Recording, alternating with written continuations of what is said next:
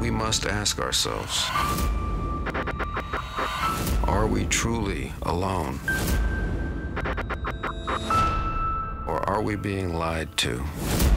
The government's been hiding alien technology. We've never been in more danger. This is my life. This is everything I believe in. You are on dangerous ground here.